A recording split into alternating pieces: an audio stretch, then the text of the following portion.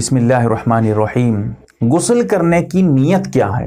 یعنی جب ہم نہائیں گے، پاکی حاصل کریں گے، تو اس میں نیت کیسے کریں گے؟ اس کا طریقہ کیا ہے؟ اور نیت کا حکم، شرعی حیثیت کیا ہے؟ سب سے پہلے یہ بات واضح کر دوں۔ نیت غسل میں کوئی فرض اور واجب نہیں ہے۔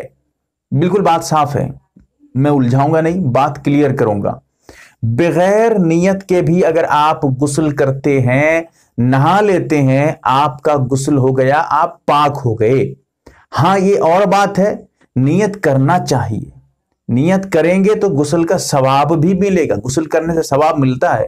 بہت کم لوگ جانتے ہیں کہ غسل کر لو، لیکن یہ پتہ نہیں غسل کرنے کا بھی ثواب ملے گا۔ اور غسل کرنے کا ثواب اس وقت ملے گا جب آپ نیت کریں گے۔ لیکن بنا نیت کے، بغیر نیت کے بھی آپ کا غسل درست ہو جاتا ہے۔ چاہے وہ ناپاکی کا غسل ہو نحیز نفاس، جنابت یا کسی اور احتلام کے بعد یا کسی بھی طرح کا جو ہے غسل ہو۔ اگر آپ غسل کرتے ہیں بنا نیت کے، تب بھی آپ کا غسل درست ہو جائے گا۔ آپ اگر ناپاک ہیں، پاک ہو جائیں گے۔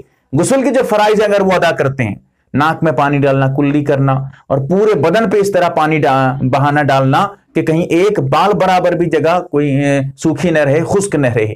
یہ تین فرائض ہیں غسل میں۔ اگر تین تین کام آپ کر لیتے ہیں تو سمجھیے آپ پاک ہو گئے۔ چاہے آپ نیت نہ کیے ہوں، ٹھیک ہے؟ اب اس کے بعد ذرا سمجھیے۔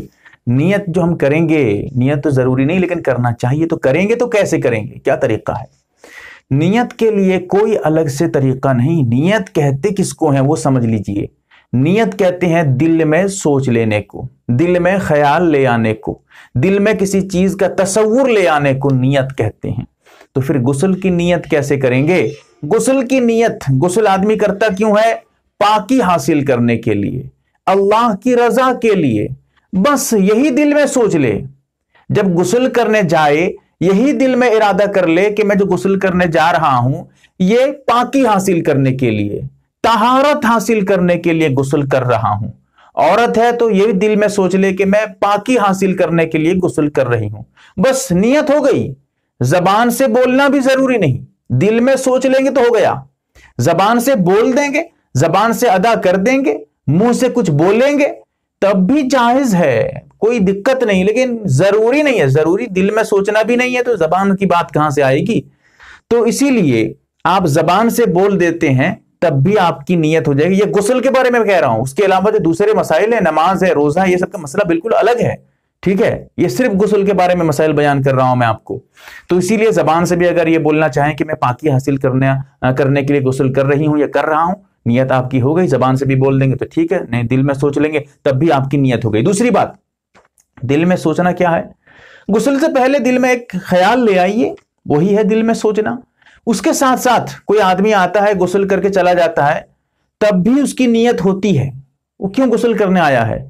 کوئی پاک ہی پاکی حاصل کرنے کے لیے، پاک ہی ہونے کے لیے تو غسل کرنے آیا ہے۔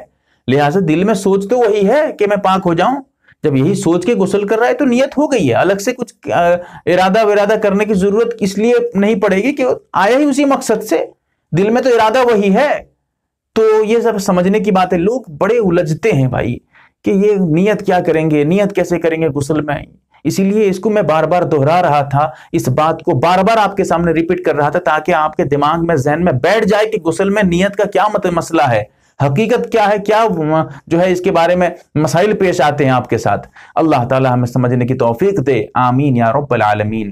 آپ دیکھ رہے ہیں یم اے آر بی دینی معلومات یوٹیوب چینل۔ چینل کو سبسکرائب کریں، ویڈیو کو لائک اور شیئر کریں۔ فیس بک، ٹویٹر، انسٹاگرام اور ٹیلی گرام پر آپ ہمیں فالو کر سکتے ہیں۔ ہماری ویڈیوز آپ اپنے چینل پر ڈال سکتے ہیں۔ ہماری طرف سے اجازت ہے۔ ہمارے ساتھ واٹس اپ پر جڑنے کے لیے آپ اپنے واٹس اپ سے اپنا نام اور فل ایڈریس کے ساتھ ایڈ لکھ کر ہمارے WhatsApp number eight nine zero eight nine three nine three four three کو میسج کریں۔ اور ہمارا کام پسند آئے تو گوگل پے، فون پے یا بینک اکاؤنٹ کے ذریعہ مدد کر سکتے ہیں۔